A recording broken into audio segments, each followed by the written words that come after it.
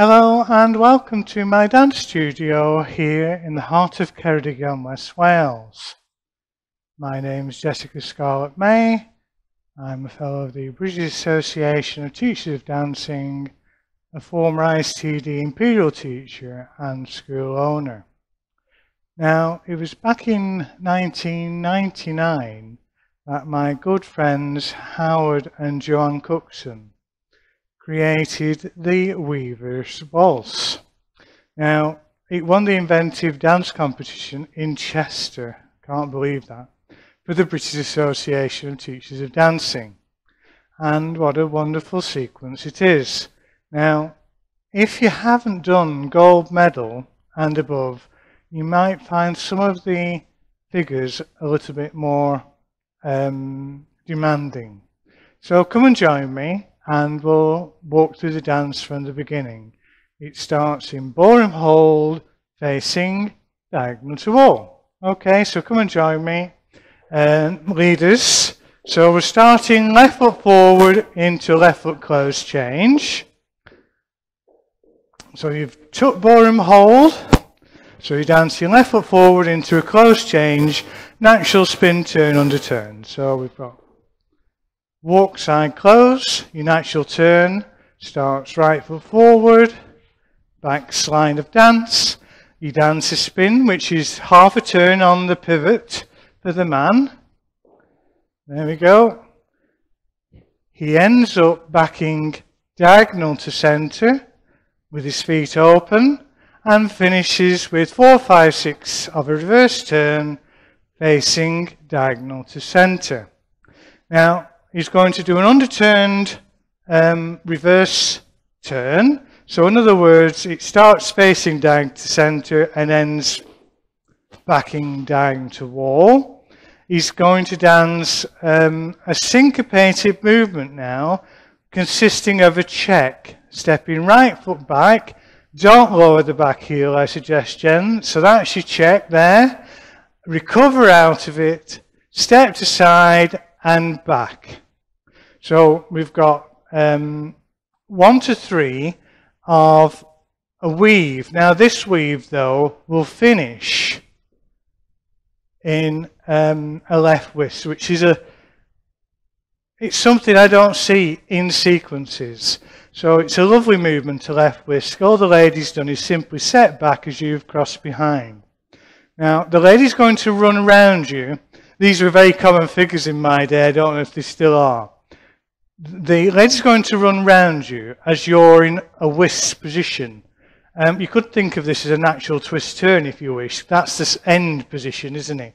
But you turn between the feet and allow the lady to end so that she's on her, your right hand side.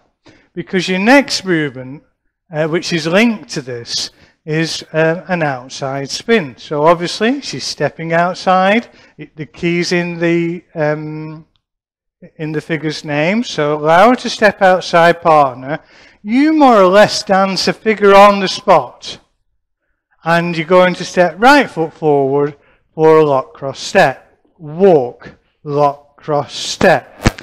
Now, it's took me a while to get out of the idea that I'm going to close my feet on the natural turn because we're going to overturn the natural turn. I'm just going to step back away from the camera. And all we're doing is stepping right foot forward as you would do after any lock step. So think of quick step if you want to, um, uh, to give a, a comparison. Right foot forward, heel lead. Left foot to side. So that's, in my world, um, where it should be anyway.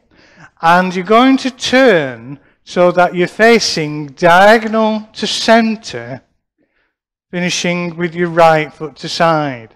Now that step will lower as you stand to check, moving um, diagonal to center.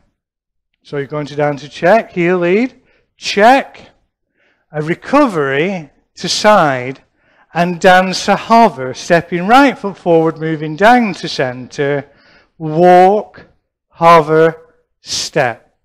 Now, um, the engagement waltz was very popular in my day, and we're going to dance a backward lock out of the engagement waltz. So that's what we're going to do.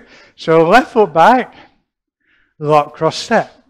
Don't forget to lift that foot up when you dance that lock step. Okay, we've almost come to the end of the dance and we're going to dance an underturned impetus turn, stepping left foot back, moving down to wall. Right foot closes to left foot. And I would say anywhere between facing down to center, facing line of dance. Keep turning so that you're backing down to center and you're going to dance four, five, six of a reverse turn underturned. Four, five, six. So we're ready to start the dance, facing down to wall, and so on. So it looks like a breeze through that dance, and I have in some ways. Hopefully, by gold medal, you'll have done figures such as the outside spin. The natural twist turn, maybe not, but then again, it's an ideal dance or sequence to practice these movements because you do see them in more advanced sequences. So if you like what you see in the sense of this uh, walkthrough of this particular dance has helped you with your current class, why not like, subscribe, and hit the notification bells on this platform? I'm on three platforms presently, and I have over 100 dances being presented at this time. You can find me on YouTube, Facebook, and Pinterest. So we're going to walk through this dance again. How did it start? It started facing down to wall. So it's using a lot of class figures um, within this sequence. But then again, you would have to have been gold medal or better really to accomplish the dance easily. I'm not saying that yeah, if you're a silver medalist, it's not within your grasp. It will just take more practice. So we're starting on this line of dance now, moving away from the camera, and we're in ballroom hold. So the first three steps is a left foot close change, most possibly the first few steps that you learn in your waltz, so that's what we do.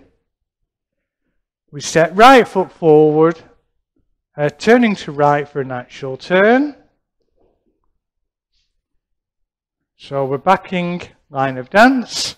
We're going to dance half a turn on the pivot. So the girl do the girl does a pivoting action, but we're doing dancing a pivot.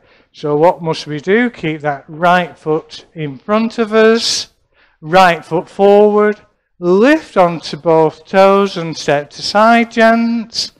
Four, five, six of a reverse turn, stepping right foot back to face, diagonal to center. So we're going to do an underturned reverse turn which is a walk side close to back down to wall, left foot forward, heel lead, in line with your partner. We're dancing a check, right foot back. What must you not lower, gents? That heel, recover, step to side, and step back. Okay? Right foot back for a whisk. What sort of whisk is it? It's a left whisk, okay? So it puts you in a natural twist position. What happens in a twist turning tango? The lady runs round. Let her run round you. There we go. So the man is going to lead the lady outside partner for the outside spin. And um, it uses a pivot again, but you're, you're allowing her to step outside partner, and it's almost danced on the spot. Guys, keep your head to left. But allow that body to turn, otherwise you don't go around. Remember, you're going round yourself, basically. So left foot back, small step. Right foot forward, almost in place facing line of dance. Left foot to side and slightly back. Okay, so you're stepping right foot forward for a lock cross step. Right foot forward, heel lead. Walk, lock cross step. So we've come to that overturned natural turn. And I'm going to come back because I want to keep it all one line of dance rather than change at my corner. So we're going to set right foot forward, outside partner. And it's going to feel like a hover cross, more or less. So we're stepping right foot forward. That's foxtrot, by the way. Right foot forward, heel lead. Left foot to side, right foot to side. Okay? So the crossing action is late. So we're going to step outside partner, check. There we go. You can look at her if you wish. And normally the girl will check her head back. We're going to replace step to side and dance a hover, moving down to center against line of dance. So we're staying on that plane, that diagonal to wall plane, before dancing a backward lock step, left foot back, walk, lock, cross, step. So you've remembered to draw your heel there. So we're stepping back now for the impetus turn. So it's a standard impetus turn. However, it's underturned.